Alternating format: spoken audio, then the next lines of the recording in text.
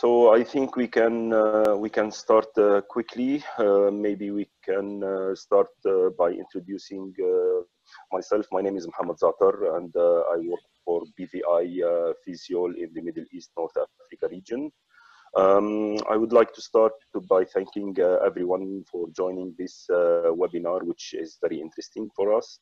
Uh, and it's going to be uh, performed by uh, Dr. Alaa Eldanasoury. Of course, many people, they know Dr. Alaa, so I will give just a quick, uh, quick briefing about the history of Dr. Alaa. So Dr. Alaa is currently serving as the Chief Medical Officer and Director of the Cornea and Refractive Surgery Units at Al Magrabi Hospitals and Centers and he is currently a board member of the International Council of Ophthalmology and member of the Intraocular International Intraocular uh, Implant Club and the American European Congress of Ophthalmic Surgery. Um, Dr. Alaa also uh, served as the president of the ISRS during the years of 2010 and 2011, and he was elected to serve as a uh, member of the American Academy of Ophthalmology Board of Trustees till 2014, being the first non-American uh, to serve in this position. Um, in 1991, he was among the very first uh, refractive surgeons to perform excimer laser surgeries in the world and introduced many ophthalmic procedures to the Middle East, including phaco IOLs, uh, intraocular rings, uh, conductive keratoplasty, femto-LASIK, cross-linking, corneal inlays, femto-cataract surgery, etc. And of course, everybody knows that he was the president of the uh, MEACO between 2004 and 2013. Uh, of course, Dr. Alaa, with his uh, scientific approach, has so many awards uh, worldwide and book chapters for his uh, uh, peer-reviewed publications, including Lifetime Achievement Awards of the ISRS and uh, being uh, uh, one of the early people to start using multifocal IOL since its release back in, uh, let's say, 15 years. He has very good experience with multifocal IOLs and trifocal IOLs, uh, and he has implanted so many, so it will be great uh, to host Dr. Alaa and to have his experience with his presentation about multifocality and quality of vision. Um, I leave the microphone for you now, Dr. Alaa. I think I gave a good introduction for you, so you can you can take the lead now. Uh, at the end of this session, I will uh, I will uh, handle the questions and answers, uh, hopefully within 30, 40 minutes. Okay, thank you, thank you, Muhammad. Uh, I really appreciate your introduction. Uh, but it, it makes me feel a little bit older when you start talking about life achievements and and long time experience, then you start to feel old. uh, also, I want to extend my thanks to, to Physiol for um, arranging for this webinar. Um, it's really, uh, we, are addressing today a, a very important topic, which is multifocality and the quality of vision. Uh, we're going to, uh, my presentation will be like 35 to 40 minutes to give uh, some time for discussion. Uh, this talk, I think it's very important topic for two reasons. The first is that we are uh, using more and more multifocal lenses in the last few years. Um, and it's becoming an important part of our practice. Uh, and we know that multifocality has to do with the uh, quality of vision.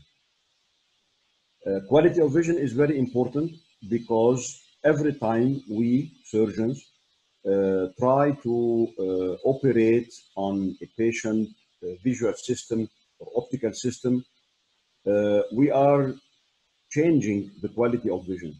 So we're trying to improve the quality of vision uh, or at least to preserve the quality of vision.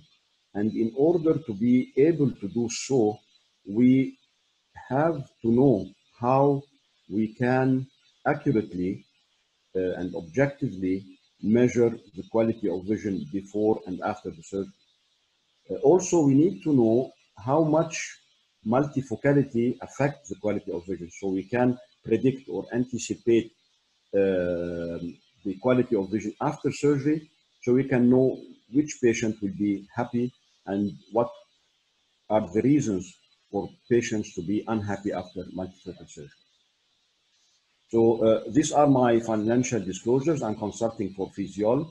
Physiol was the first company to introduce the trifocal concept uh, many years back due to the combined work of, of uh, Dr. Gatinel, Damien Gatinel, uh, and uh, Mr. Pagnoulle. And together they uh, started to uh, introduce the concept of trifocal lenses. and since then, many other companies, manufacturers are doing trifocal lenses uh, because it proved to be very effective. Uh, so in the first part of my talk, we're going to um, uh, review how we can objectively measure or quantify quality of vision. Uh, it's usually very difficult to quantify quality. Uh, and I remember many years back when we started doing excimer laser surgery, uh, we were talking about the quality of vision mainly subjectively. Uh, patient satisfactions, uh, sub, uh, subjective questionnaires after surgery. But I was never convinced that the best way to assess the quality of vision is to go with the subjective tools.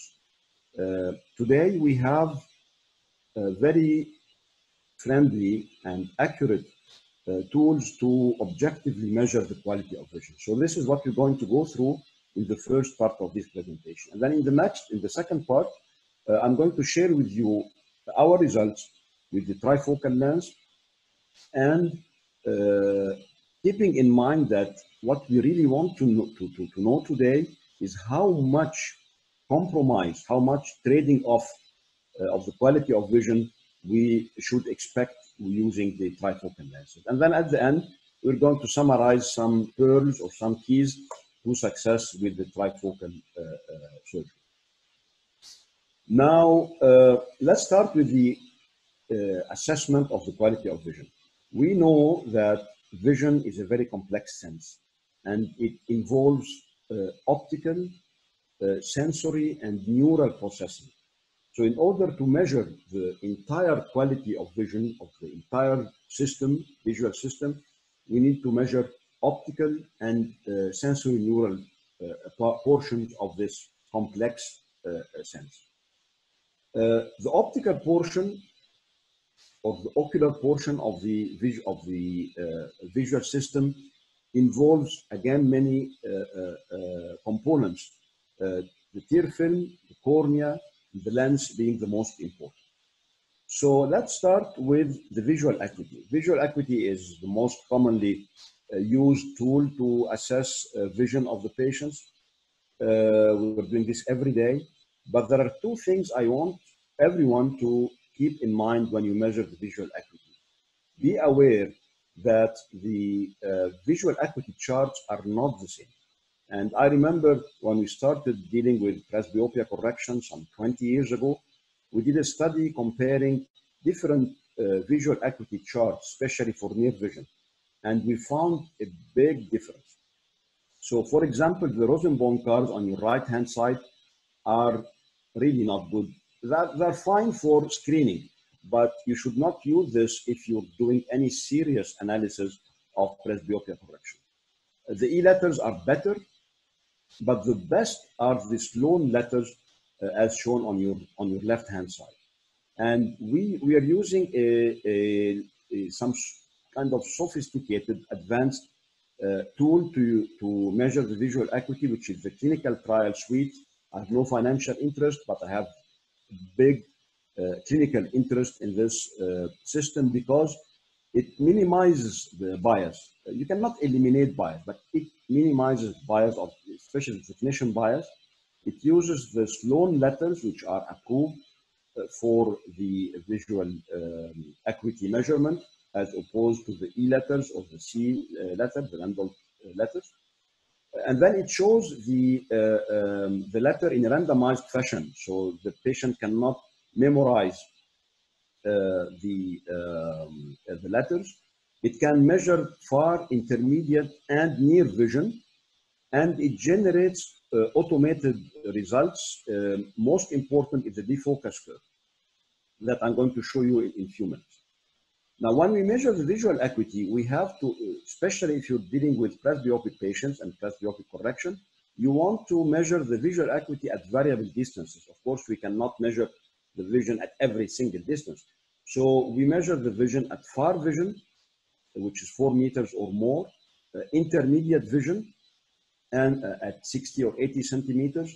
Uh, this is the distance where you use your, your, your, your um, computer screen or your dashboard when you're driving. And the near vision at 40 centimeters, this is where you use your, um, uh, where you're reading or using your, uh, your smartphones.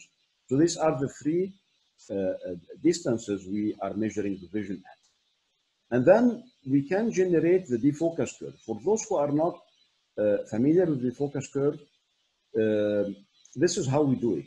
First, we feed the patient with his distance correction, if he needs any distance correction, and then we start measuring his distant vision after uh, putting uh, in the trial frame or in the phoropter um, uh, different lenses from plus 1, 1.5 till minus 4 or minus 4.5. And then we measure the distance vision with this added lens. This gives you a good idea on the range of accommodation or pseudo accommodation in, in uh, patients with multifocal lenses. Uh, it gives you a very good uh, uh, uh, idea on how the patient sees at different distances. So for example, what you see on the screen now is a defocus curve of a young subject. He is not presbyopic, like 30 years old. He has no cataract. He has perfect vision, perfect op optical system, perfect quality of vision. So his defocus curve will be as like this he can see uh, uh, more than 2020. This line uh, shows the 2020. So he can see better than 2020 at all distances, far, intermediate, and near. A presbyopic patient or a patient with monofocal lens uh, will have uh, this kind of defocus curve. Very good vision for the far, and then the vision starts to deteriorate uh, rapidly, and he has a poor intermediate and poor near vision. Uh, what we're trying to do, if you are treating presbyopia, we're trying to uh, close this gap in the intermediate and near vision. Now, visual acuity does not tell you the whole story. Uh, it tells you how the visions, how the patient sees at high contrast level. We use uh, black uh, uh letters, black optotypes on white background. So this is a high contrast level. So you need to measure the visual, the, the, the, if you want to measure the quality of vision, you have to uh, measure the contrast sensitivity function, which is the most uh, accurate and most sensitive way to measure the quality of vision. We're using again the, uh, the CTS, the clinical trial suite, to measure the contrast sensitivity uh, at different contrast levels, at different uh, uh, spatial frequencies, in, in variable light condition, so we, we do it at in photopic, uh, mesopic, and scotopic, and at different level levels of glare. So we do the contrast sensitivity, we measure it at low glare, medium glare, and, and uh, high glare. And this is how the screen looks when you are measuring the contrast sensitivity with glare. And this is pretty much uh, mimics the way the patient see in real life when he's driving his car at night. Uh, uh, this is uh, how he can see. And then uh, you generate the uh, contrast sensitivity uh, function curves. Of course, the, the, the photopic contrast sensitivity will be the highest, and then the mesopic, and then the mesopic with glare. The most important measure of contrast sensitivity is the mesopic contrast sensitivity and the mesopic with glare. Uh, now, measuring the contrast sensitivity for every single patient before surgery and after surgery is cumbersome and it takes time and it, it's not easy. If you want to do the full test, it takes like 40 minutes, which is not really, uh, uh, if you do the, the, the, the, the, focus curve and the contrast sensitivity, it takes good 20, uh, 45 minutes or so. So fortunately, we have other tools uh, that can generate a very good impression uh, and objective measurement of the quality of vision. Like, but but the, the, the, the defect here or the bad thing here is that it measures only the optical part. So from now on, let's assume that our patient has a good sensory neural portion of his visual system. So the patient does not have optic atrophy, does not have age-related macular degeneration. The patient does not have any visual pathway uh, uh, issues. So now we're, we're objectively measuring the uh, optical portion of the visual system. The easiest way and the most commonly used way is to look at the aberrometers, uh, look at the aberrometry maps. Uh, this map on your left-hand side shows the wavefront uh, of a normal patient. the high order aberrations are shown here. Now we are measuring we can measure the total aberration that includes the high order and the low orders, but you know the low orders can easily be corrected with the sphere and cylinder. So what's important for us is the high order aberrations to assess the quality of vision of this patient. So if this cornea has a high order aberration, if this eye has a high order aberrations of 0.15, then this is within the normal range. So we can uh, uh, uh, anticipate a very good quality of vision of this patient. Now on your right hand side is a very important graph, which is the modulation transfer function graph, which is uh, similar to the contrast sensitivity, but without the sensory neural part of it. But we can generate this in a few seconds. So what does this graph tells us? It tells me that this patient has a perfect quality of vision that is shown in, on the pink graph this is the high order MTF. The blue curve shows the low order MTF. So if this patient is not wearing his correction, this is the amount of vision and the quality of vision he's seeing shown in, in, in blue. But if you correct only the low order aberrations, the sphere and cylinder, then this patient have a, a, a better and an almost normal, actually it is normal, an excellent quality of vision shown in the um, on the pink on the pink uh, uh, graph. Uh, now, ocular aberrometry still, this map shows an eye with a high myopia. This patient is minus 16. So you can see how poor the quality of vision is. But we don't care about the sphere and cylinder because we can easily correct this. You want to know how much high order aberration, aberration this eye has which is shown in, here um, below. This patient, this eye has a very low corneal uh, high order aberrations. And on your MTF graph, the blue curve is very low. But if you get rid of the sphere and cylinder, then this patient will have an excellent quality of vision. So when I have a patient with such aberrometry map, I know that the patient is today enjoying a very good quality of vision before the surgery. So before embarking on any kind of surgery, I need to, to make sure that whatever I'm going to do is not going to uh, compromise or decrease his uh, quality of vision. Now, uh, uh, a patient with a high order aberration, like in this case, total high order aberrations of 2.3, that's a terrible vision, that's a very bad vision, then you have to know, you know that this patient is starting with a very poor quality of vision. And it's not due to the sphere and cylinder only, because the, the two graphs are very close, but this patient has a poor quality of vision before the surgery. So if you're going to operate on this patient, you have to be able to improve his quality of vision.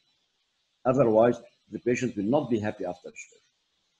Now, uh, the ocular aberrations are can lie in the cornea or inside the eye. Inside the eye, mainly the lens.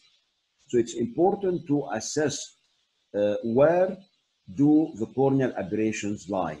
It's important to, to know whether the uh, uh, corneal, the high order aberrations come are originating from the cornea or from the lens. That's why it's of equal importance to measure the corneal aberrations alone without the rest of the eye. In this case, uh, the corneal aberrations are as low as 0.2, that's perfect. uh, the patient has an excellent MTF curve. But in this eye, the corneal aberrations are very high.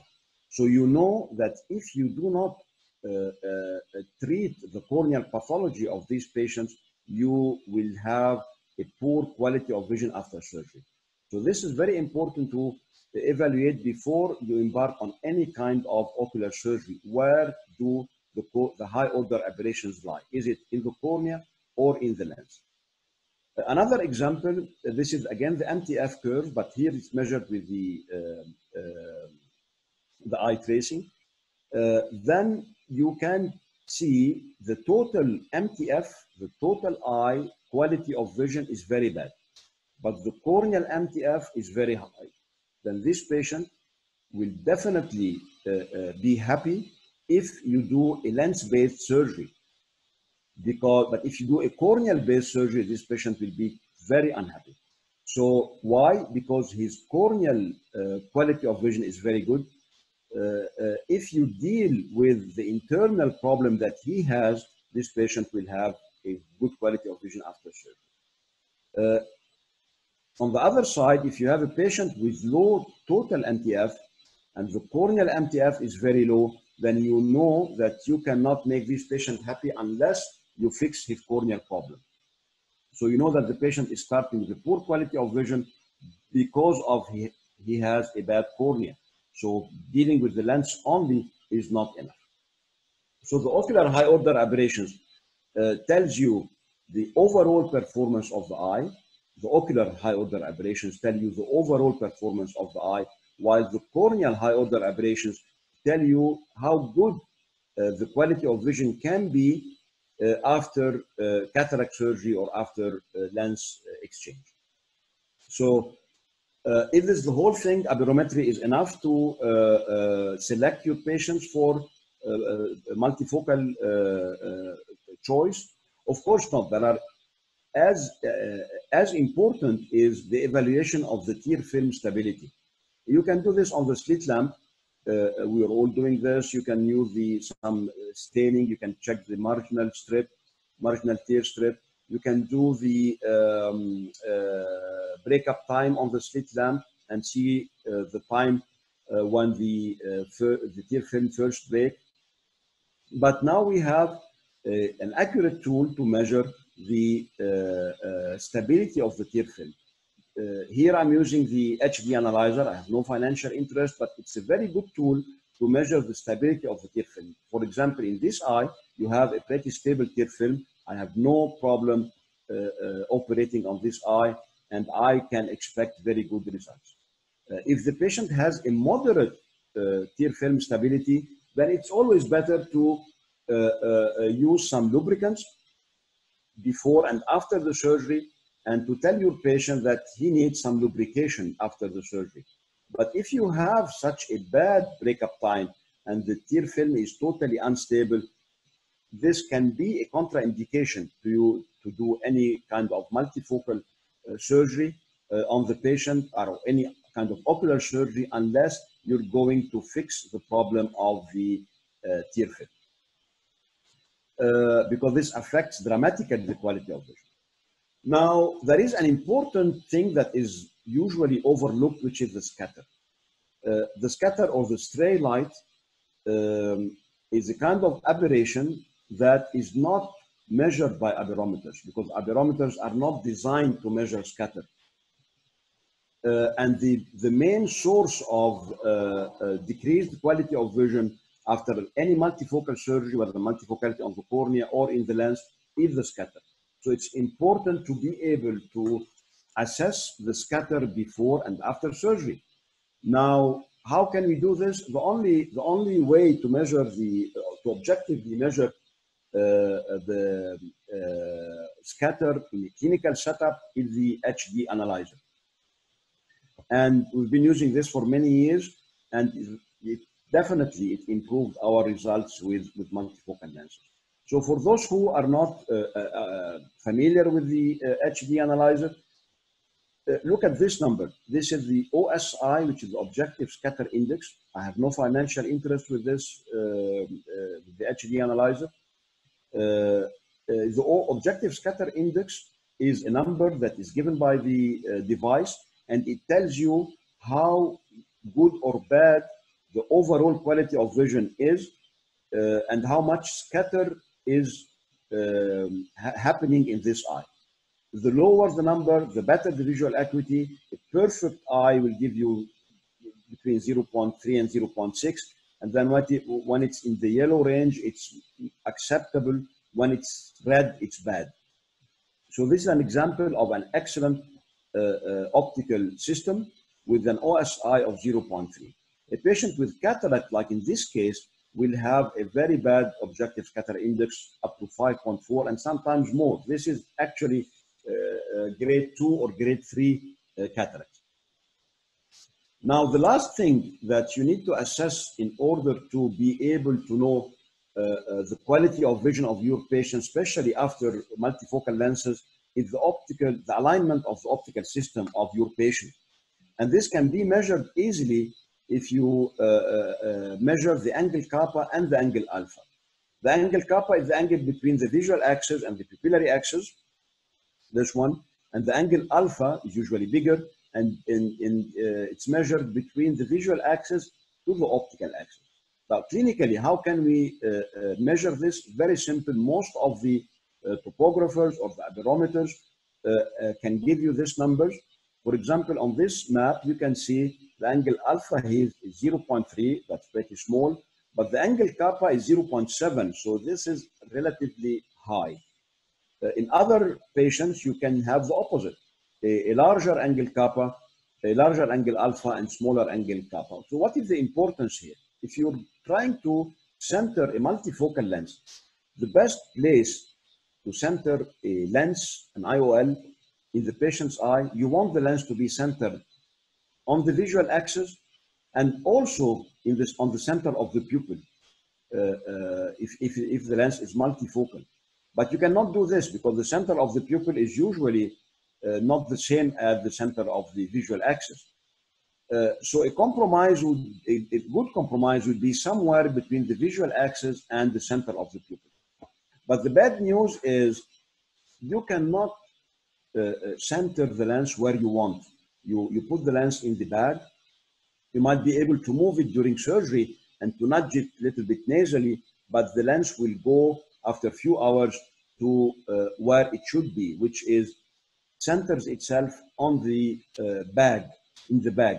So usually the lens uh, is centered on the optical axis of the eye. So that's why it's important to measure the angle uh, alpha, not only the angle kappa. Well, this is a big debate, and which is more important, but whichever you use will be helpful. If you use angle kappa or angle alpha or both of them, this will help you to know uh, the, the, or to expect the quality of vision after your surgery based on the lens uh, centration. So now, so far, what did we learn? We went through the visual acuity that has to be measured with the proper tool at far, near, and intermediate distance. Contrast sensitivity is the best way to measure the visual function of the patient's uh, uh, visual system, but it's a little bit cumbersome. It takes too much time.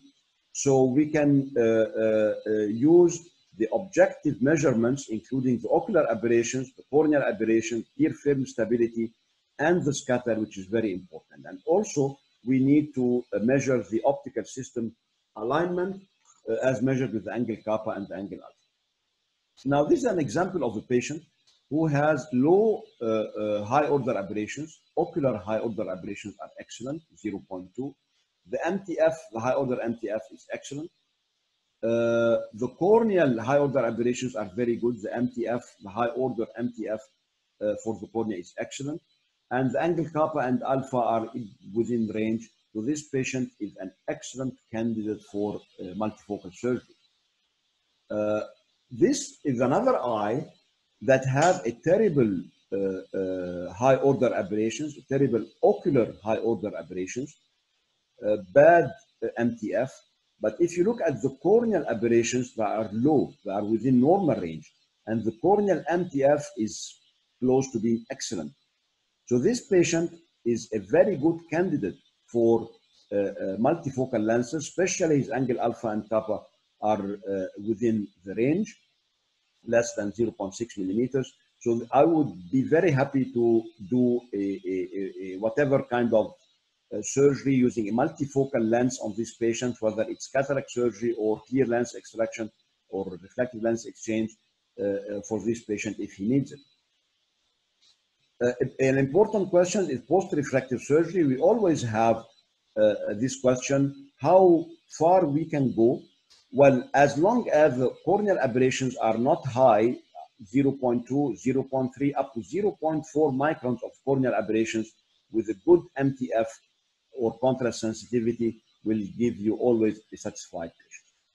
Now, let's move to the uh, uh, more interesting part, which is the outcomes the, that we can expect, that we are having, and we can expect after multifocal lenses.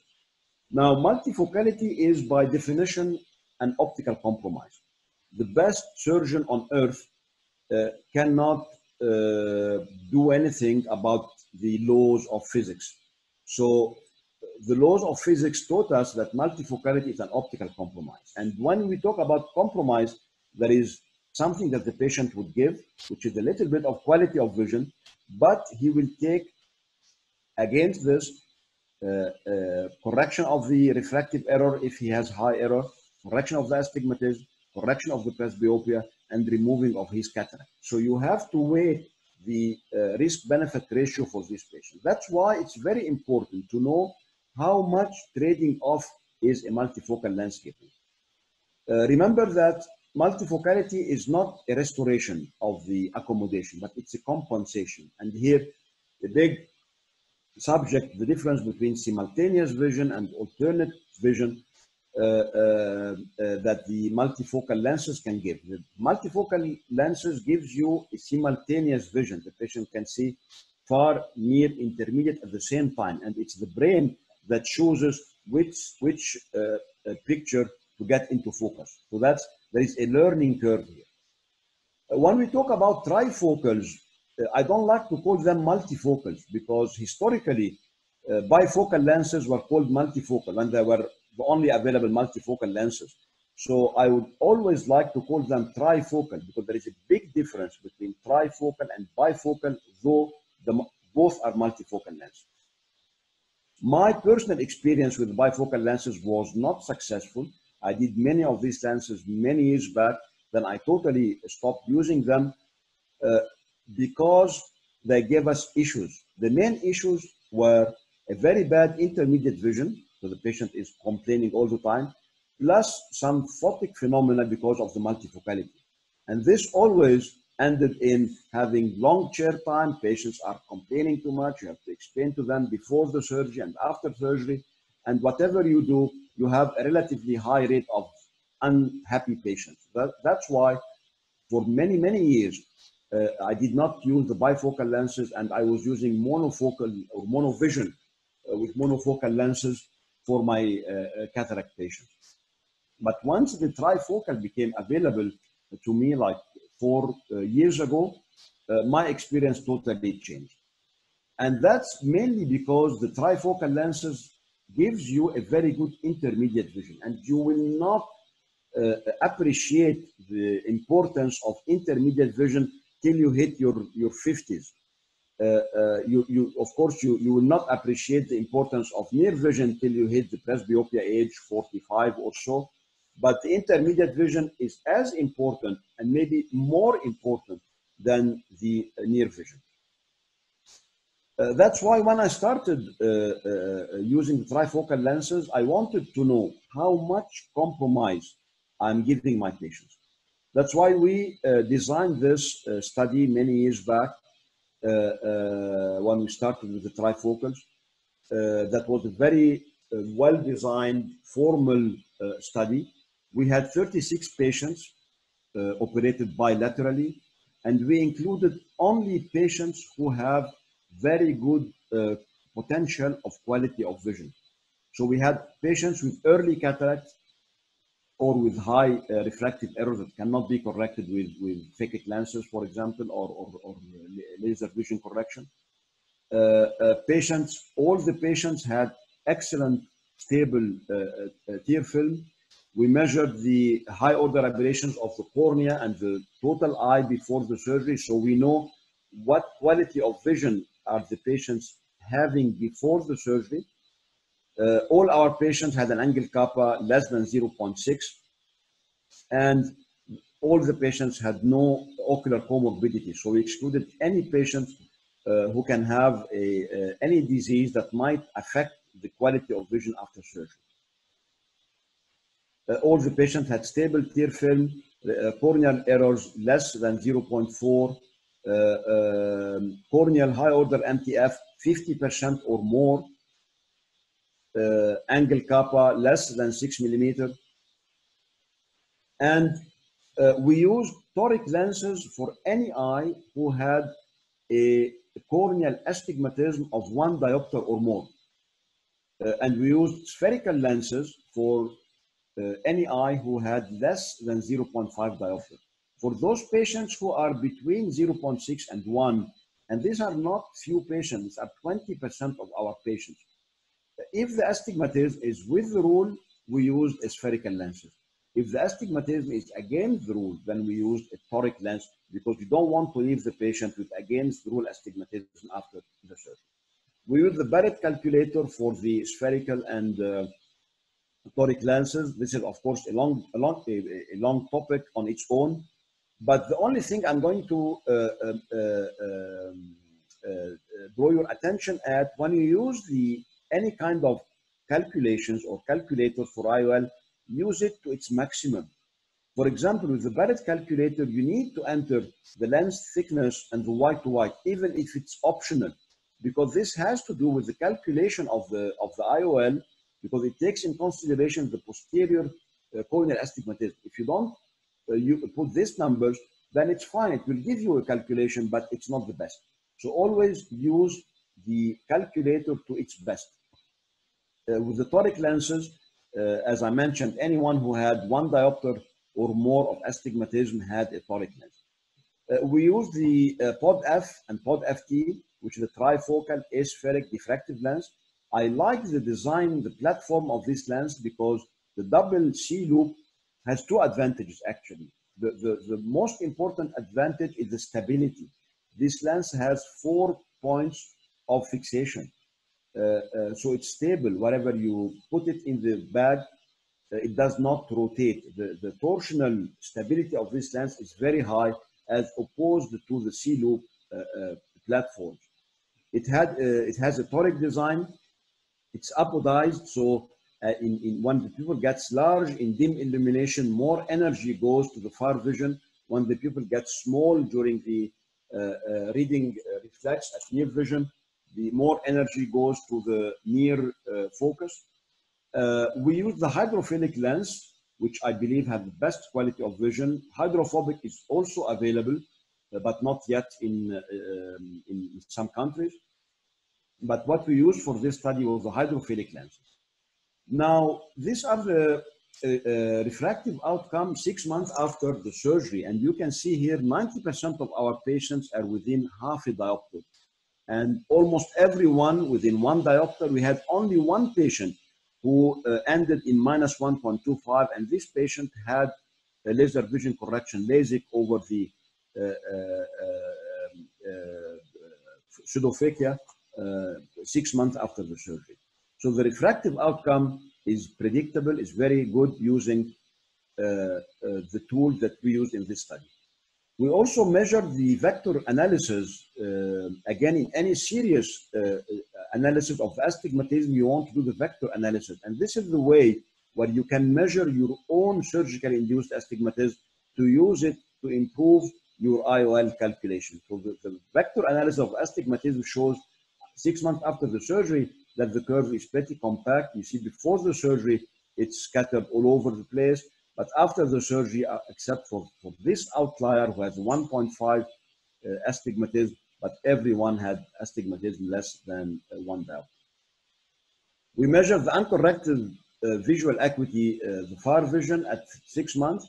90% could see 20/20 uh, or better, and 91% could see 20/30 or better at intermediate distance. This is something that we never saw with the monofocal lenses. And this is the main reason why the patients really love the results after the trifocal lenses because they give them a very good intermediate vision. The near vision was even better. Uh, uh, 94% could see 20, 30 uh, uh, or better at 40 centimeters. And remember that these patients uh, are measured with Uh, their distant correction. So if the patient ends in like minus 0.5 or 0.6, we, we fit the patient with uh, the uh, 0.6 or 0.5 lens. so we are measuring the, the eye with the distant corrected vision. So this is not uh, uh, uh, myopic shift. This is the near vision with the distant corrected vision. And that's very important if you're going to evaluate the effect of multifocal. Now, this is the focus curve I showed you at the beginning. The blue one is for a um, young subject, non-presbyopic, perfect. The green curve is the one for a monofocal lens. The gray one is the bifocal lens. It gives you good vision at far distance and near distance, but in between there is a big trough, and this what makes the patient very unhappy. Now, in red is shown the, the focus curve after the trifocal lens, after the pod F and pod FT. And you can see that the gap here at the intermediate vision is pretty much closed. So the patients are enjoying good vision at all distances, at least better than 2025 at all distances. Uh, and this is the reason why these patients are, are very happy. There is slightly, slight depression here. So the near vision in this lens is better than the intermediate vision, but the intermediate vision is much better than what the patient can see with monofocal or bifocal lenses. And uh, it's 25 or 2025 or better, which is for, for real life, this is a, an excellent the uh, contrast sensitivity of the entire optical system, we measured it with the, uh, the mesopic uh, and mesopic with glare. Uh, the dashed line shows you the normal contrast sensitivity. The red line shows the mesopic contrast sensitivity after trifocal lenses. It's less than the normal, but uh, it's very acceptable. And this is the amount of compromise that you're giving your patient. If you measure it with the glare, then it's more uh, lower curve. And this here you can uh, uh, objectively see the amount of compromise that the patients can have with trifocal lenses. And this is not big to make the patient unsatisfied. We measure the high order MTF before and after the surgery, and you can see over time it's stable. So the patient have a very good quality of vision after surgery. Uh, example of a patient, uh, uh, this is his MTF before surgery. You can see on your left-hand side, uh, a poor MTF, the ocular MTF, the entire eye has a poor quality of vision. The cornea per se has a very good quality of vision. So the problem comes from the internal MTF, the internal, which means the lens in this case.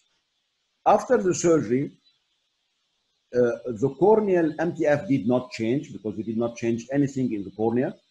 Uh, the internal MTF improved dramatically because we exchange the lens of this patient, the dysfunctional lens with a trifocal lens, and you can see the overall, the ocular uh, MTF is much improved as compared to the preoperative uh, uh ocular uh, MTF. Now, what about the scatter? Here we have to differentiate between patients with cataract and patients with clear lens extraction. The, uh, the, the cataract uh, age group is higher, usually start with a high uh, scatter. Then after the surgery, they dramatically improved. And at six months, the mean uh, objective scatter index was 2.7, which for them is a great improvement of the quality of vision. On the other side, the patients with refractive lens exchange started with a perfect quality of vision, and ended with a 1.7. So there is a little bit of deterioration of increased scatter, if you will.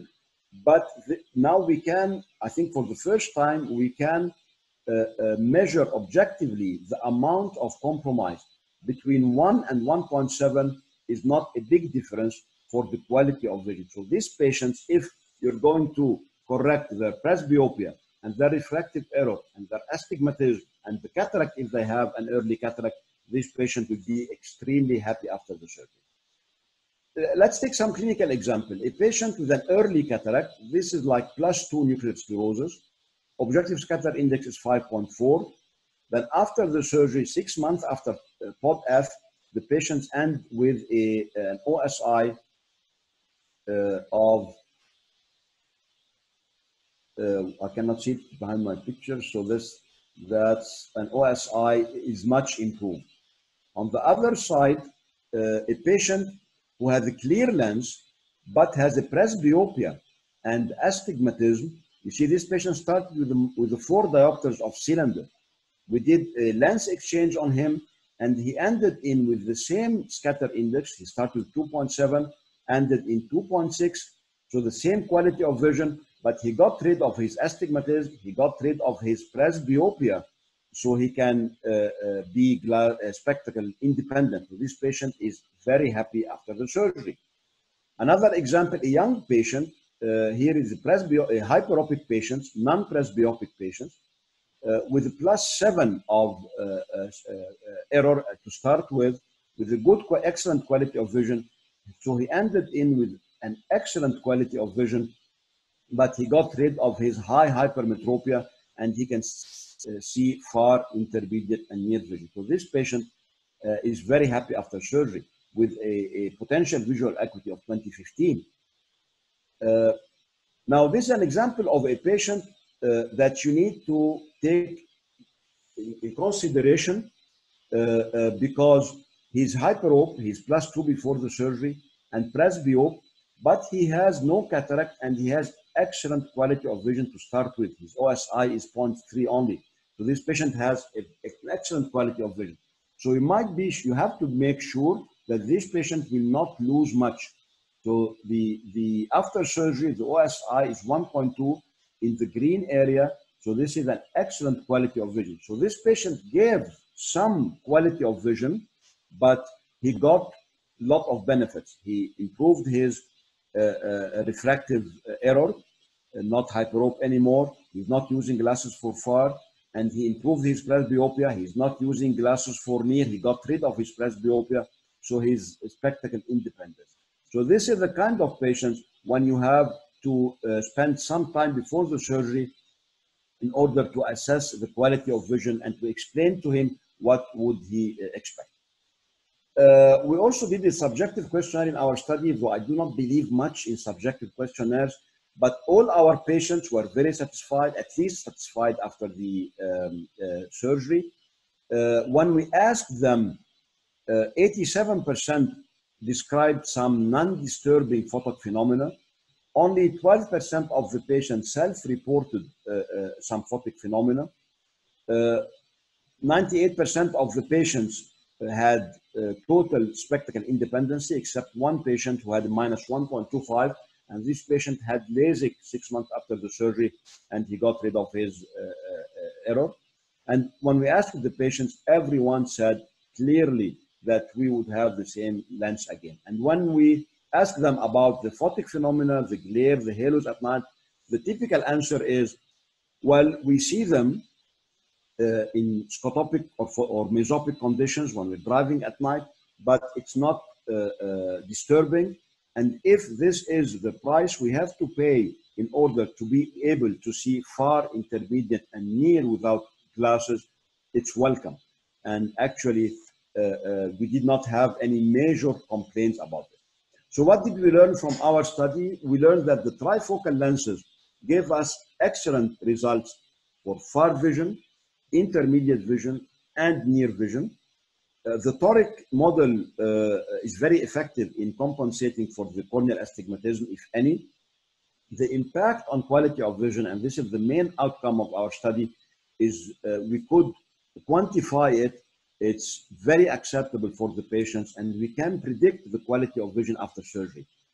Always remember that the trifocality is not a, a, a, restoration of accommodation, but it's a compensation of the uh, accommodation because you're giving the patient simultaneous viewing uh, uh, uh all the time.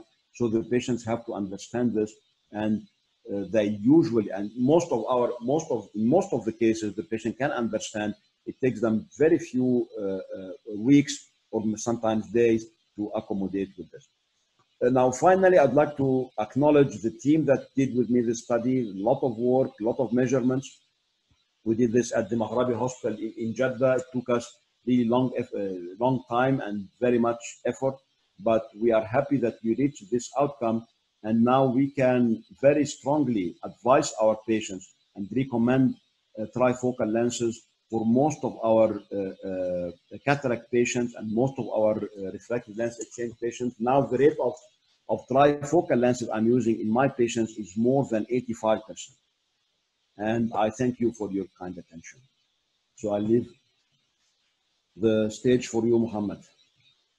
Thank you very much, Dr. Alaa. A pretty impressive presentation uh, as usual and as expected. Uh, I have some questions on the panel, so I would like to uh, to read them for you one by one. So I have a question from Professor Ruby. Uh, how far should we go with multifocal lens with the growing number of patients having done LASIK femtosmile? Well, yes, that, that's a very valid question and very important question. And the answer is if the patient had smile or any kind of uh, keratorefractive surgery, LASIK or PRK or anything else, even those patients who had RK a long time ago, if the patient uh, uh, has a very good quality of vision at the level of the cornea, which means the corneal aberrations are not high, and by not high, I mean 0.4 microns of RMS or lower, then we can go with uh, multifocal, with trifocal lenses. And the goal is emmetropia.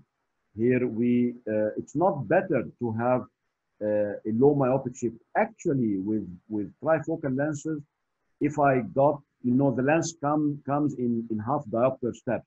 So if I have to choose between uh, plus, uh, 0.2 uh, and minus 0.2, I'll go for plus 0.2 not for minus 0.2 because emmetropia, because some myopia and uh, uh, or astigmatism, astigmatism being worse, if you have uh, any residual myopia or, or astigmatism, the patients are, are, are unhappy.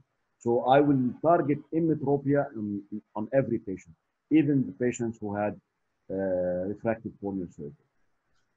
So I suppose this uh, answers the question, uh, the next question, should we leave the patient emmetropic or better low myopic after refractive corneal surgeries for his future multifocal lens?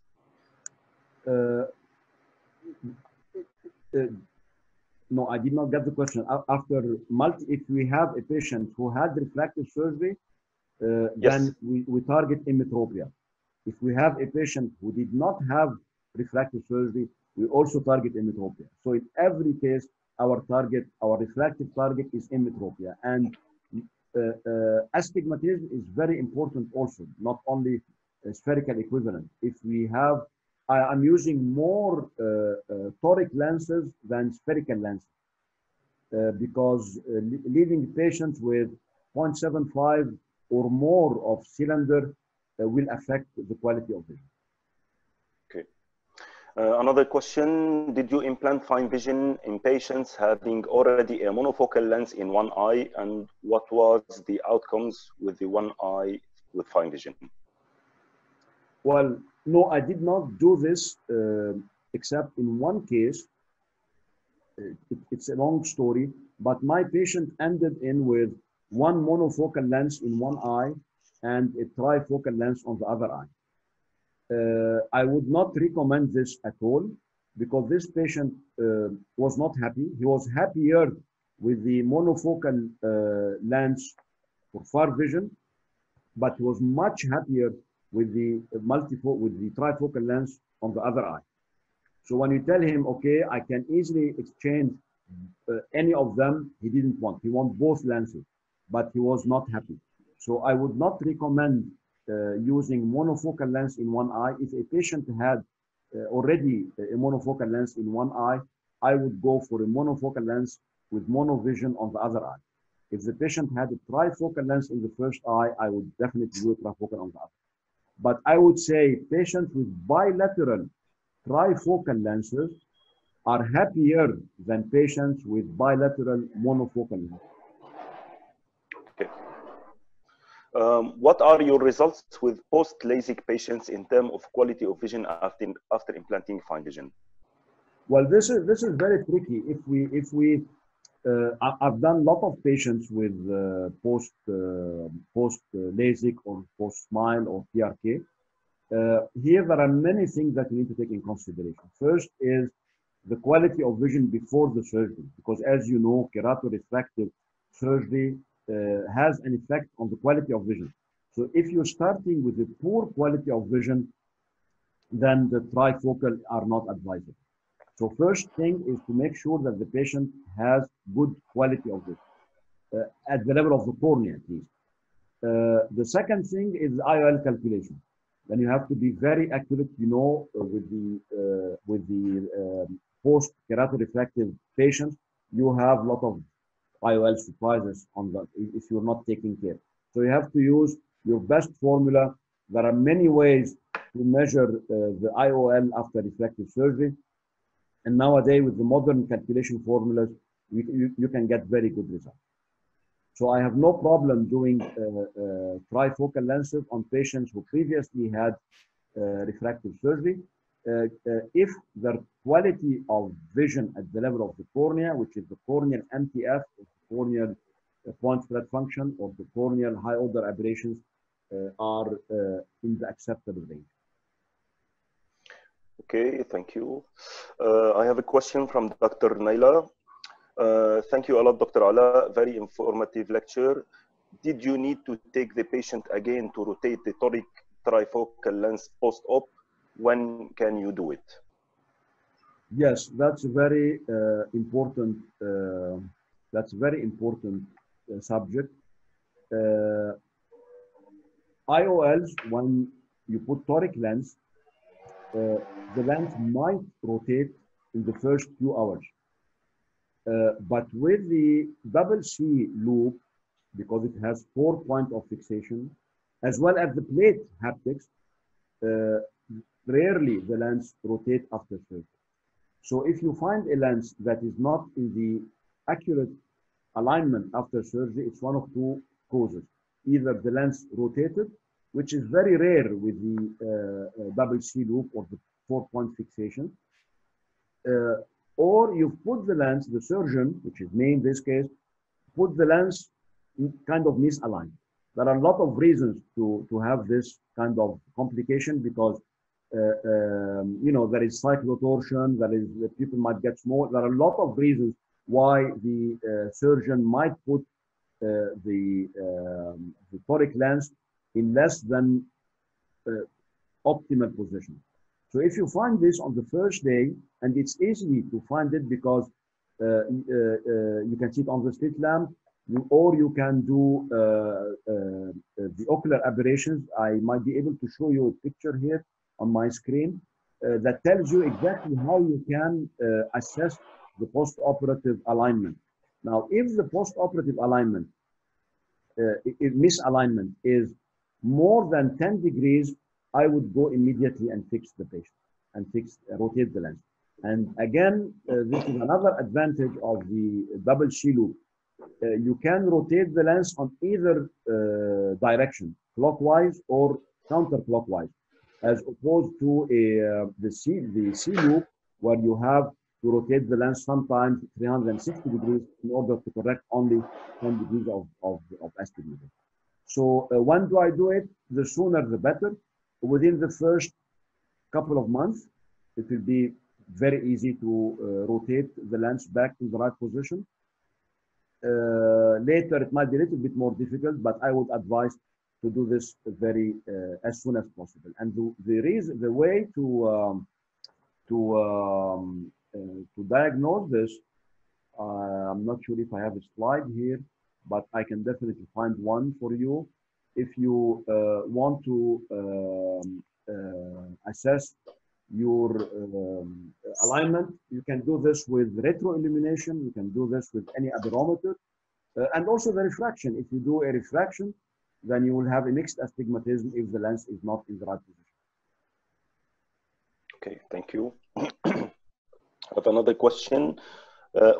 Which types of material do you use of fine vision and why? I'm not sure I really understand this question. Well, I think I understand. I think he is referring or she's referring to the um, hydrophobic versus hydrophilic. Okay. Uh, well, the uh, all my experience with the Pod F and Pod FT was with the uh, hydrophilic that was introduced first. Uh, now the hydrophilic became available, not yet available to me in, in here um, in some countries in the Middle East. It's not yet available. Um, what the results with the hydrophilic, the hydrophilic are excellent. The quality of vision is very good. I'm not very excited to use the hydrophobic, but whenever it's available, I'm going to use it. Uh, I still expect very good quality of vision. The problem with the hydrophobic is the glistening, but I know that with the material, with, with the material used with the physiol, it, it, the material is glistening free because we had a lot of issues with the glistening hydrophobic uh, acrylic uh, in the last few years. Uh, but I know that the hydrophobic uh, uh, physiol lens is glistening free. Um, the, the bad thing or the bad reputation about hydrophilic is that it uh, induces more PCOs, which is, I don't think this is accurate. Uh, my rate of uh, PCOs is with the hydrophilic is not higher than the hydrophobic. Uh, it has to do more with the square, with the edge of the um, of the lens rather than the material. Uh, and remember that many of the patients who are using premium lenses will need YAG capsulotomy even for a little bit of PCOs, whether it's hydrophobic or hydrophilic, because these patients are seeking the best quality of vision. So with the earliest sign of PCOs, you might need to do uh, YAG on these patients. And we've done uh, uh, a few YAGs after uh, POD F and POD FT with, with excellent results. Uh, the hydrophobic, I use the hydrophobic physiol with the, uh, with the Triumph lens, which is the newest edition of the physiol lenses. Um, I did not have any issues with glistening with the hydrophobic Triumph lens. It has the advantage of correcting the some of the chromatic aberrations, the longitudinal chromatic aberrations, which give good, very good quality of vision. Uh, in the few Triumph cases I did, the intermediate vision is excellent. Uh, the near vision is very good. What I had with the um, with the long experience with the Pod F and Pod FT, excellent near vision and very good intermediate vision. So, uh, so I think uh, in the in the in the uh, future, it has to do with the patient's um, needs. If the patient is more of a near vision, then the Pod F and Pod FT will be better. If the patient is more for an intermediate vision, then the um, the Triumph would be uh, the choice. Okay, thank you.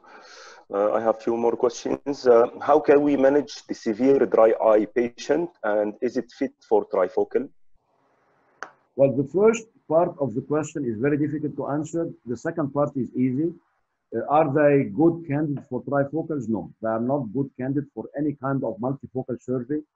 Uh, and you have to treat the uh, severe dry eye first. How to treat it? This is another another uh, webinar. But uh, but what I do uh, frequently is to use, of course, lubricants, more the gel-based lubricants. punctal occlusion is very helpful. I think punctal occlusion is very much overseen by refractive surgeons. I I I, I do punctal occlusion for many patients, and they benefit from the punctal occlusion. Uh, I would not go to multifocal uh, lens unless the tear film stability is improved. Okay. Uh, how do you measure post-op glare and halos? Uh, well, glare and halos after surgery in general can be due to spherical aberrations or coma or scatter. So uh, you measure the ocular spherical aberration, so you can tell how much uh, spherical aberrations or coma the patient has, and you measure the objective scatter index. This will tell you how much scatter the patient has. And remember that the multifocal lenses, uh, uh, uh, they induce, the main aberration that are inducing is scatter. Uh, so that's why measuring the scatter is becoming uh, very important in my practice.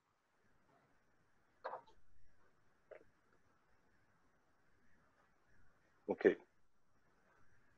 Um, what is your advice when a miscalculated trifocal lens has been inserted and outcome is unsatisfactory? Uh, first of all, I would want to know why was it miscalculated? Uh, because this is how we learn how to improve our calculation uh, formula. Um, second is depends on whether the, the, the, the miscalculation is in the uh, whether the patient is in early or late post-operative. So on the first day, if the patient, if I realize that a patient has a, a wrong calculation uh, and the lens is already inserted in the eye, I would, if the difference is big, I would exchange it. Uh, in the first month or two months, uh, exchanging a, a, um, a, pod F or pod FT lens is a piece of cake. So if the if the error is like three or four or more, or even two diopters, I would go and exchange the lens if it's in the early post-operative period. Uh, if the uh, it's like two years down the road, and the patient come to see me with the wrong uh, power, I would do a, a, laser vision correction to correct the uh, the error. If the if the error is too big and the patient comes after a few years, uh, an add-on lens here might be very helpful. So you have many options. One, spectacles. Uh, two, uh, uh, IOL exchange if it's early, which I think is the best. three, laser vision correction if the lens had been in the eye for many years uh, and there is fibrosis and um, or there is the opening in the posterior capsule or the patients had YAG capsulotomy, uh, uh, then an add-on lens might be helpful if the error is big. If the error is small, then I would do laser vision correction. Uh, are patients who has diabetes accepted candidates for multifocal lenses? Well, uh, well, if the patient, well, diabetes, I would say it, it's not a contraindication, but it depends on the stage of diabetes. If they have diabetic retinopathy, of course, a patient who has macular dysfunction is not a good candidate for multifocal lenses. Uh, so diabetes per se is not a, a contraindication, but if the patient has diabetic retinopathy, then I would go for a monofocal lens.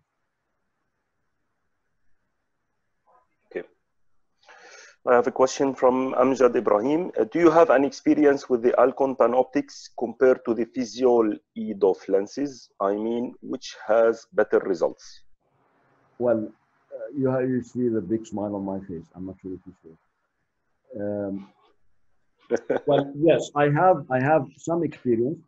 Uh, I put very few uh, PanOptix, but I've seen a lot uh, of patients post PanOptix.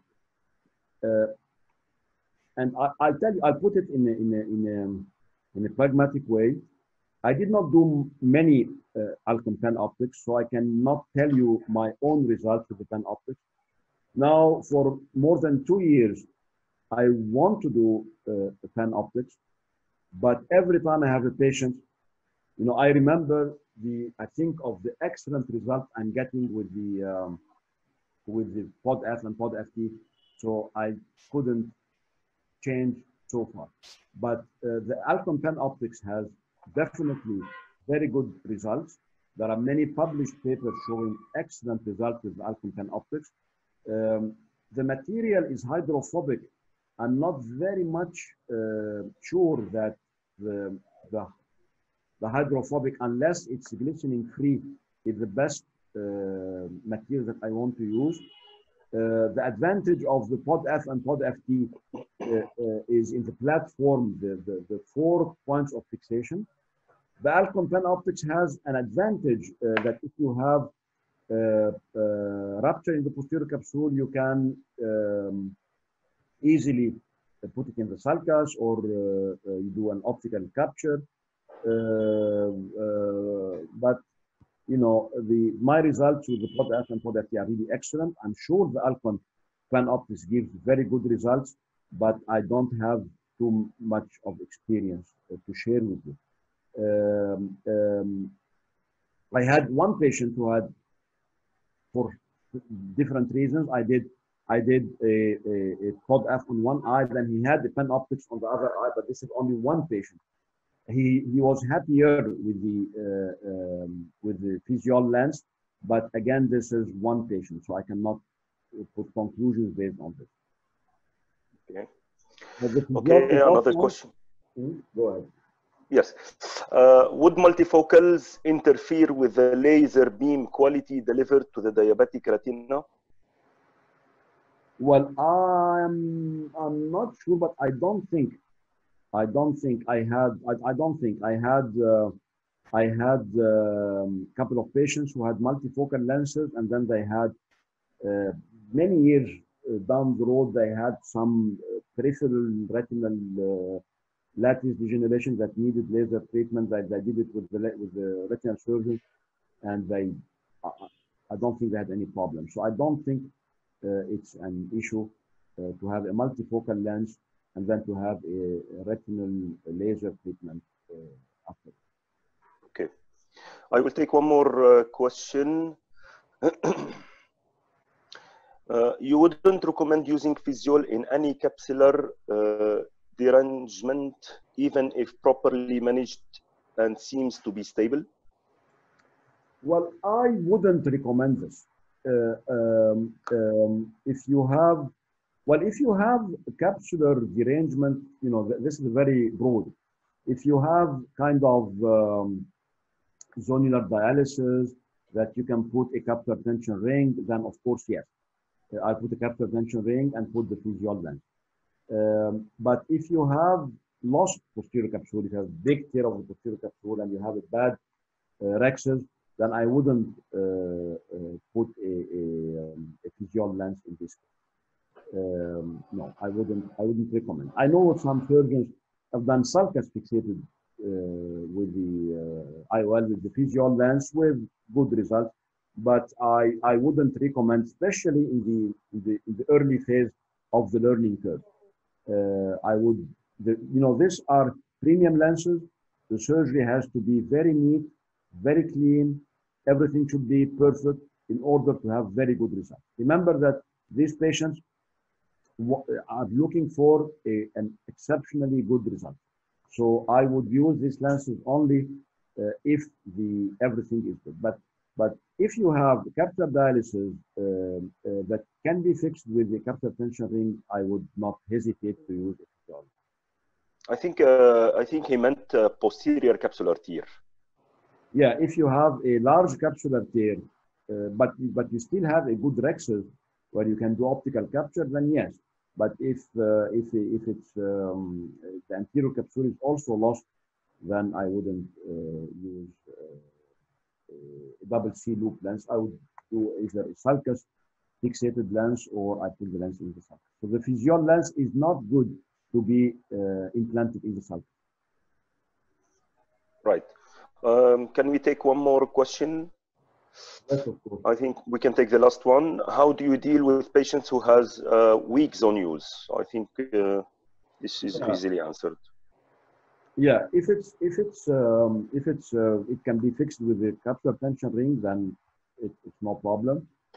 Uh, I wouldn't uh, hesitate to use the uh, multifocal lens, but because it has to do with the centration, you know, if if, if uh, and that's the same with the next question. Multifocal would be fair in scleral fixation. Well, they can be used, but uh, uh, if you can um, make sure that the centration of the lens is perfect, uh, because if you have this lens decentered, well, with the Physiol, maybe that's important to mention. The central uh, uh, optical circle of the Physiol before the start of diffraction rings is 1.6, like 1, 1.12 or something like this. So uh, 1.16, uh, the central part, this has to be in the uh, in the right position. If you have a decentration by more than half of this amount, if you have a decentration more than uh, 0.6 millimeter, uh, I wouldn't uh, use a multifocal lens. So with the scleral fixation, at, at least with the techniques I'm using, I cannot ensure such a perfect centration. But having uh, mentioned that, I must also say that I have seen patients with trifocal uh, physiol lenses uh, where the center of the lens is very much decentered relative to the optical axis or the visual axis. And I would expect these patients to do very bad, but actually when we measure clinically, you find that the patients are, are, are not bothered. So, um, so the, the short answer is 0.6 millimeter of decentration is acceptable. Uh, however, more than this can be accepted, but this is this has to be proven with a formal uh, clinical trial. Perfect, perfect. Well, uh, thank you very much, uh, Dr. Alaa, and thank you everyone who attended this uh, interesting webinar. Thank you for sharing your experience about multifocal and quality of vision. Uh, we always learn from you and your experience, uh, Dr. Alaa, and uh, hopefully we will see you soon. In person. In person, yes, in person, absolutely. Thank you, everyone. Thank you, and have a good day.